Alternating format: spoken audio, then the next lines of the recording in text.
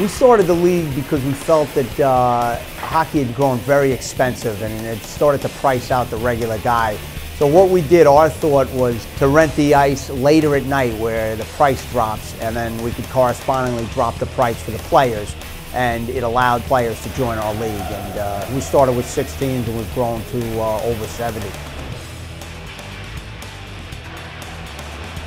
Uh, the skill levels uh, go from guys who used to play um, high-level travel um, down to beginners uh, and everything in between. Uh, we play in 11 rinks in uh, Nassau and Suffolk, and uh, we also use the Nassau Coliseum. Um, we started a program about 11 or 12 years ago with the Islander where we call it the game after the game.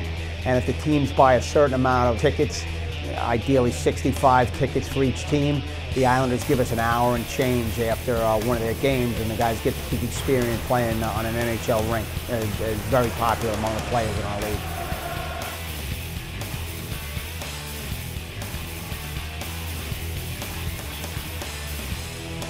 I know it's fun. It's a good league. There's a lot of good teams. Competition's good. No, we have a good time, so come back every year.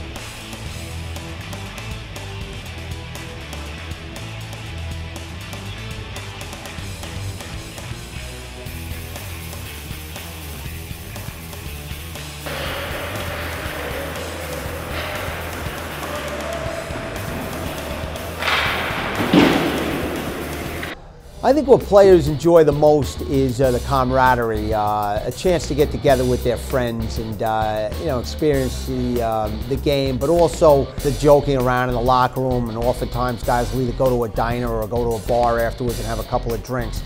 So it's not just the athletic aspect of it. It's it's it's it's time that guys can take away from their work life to you know get back with their friends. Many many of these guys grew up together with one another you know, they want to relive their youth, and this is one way they can do it.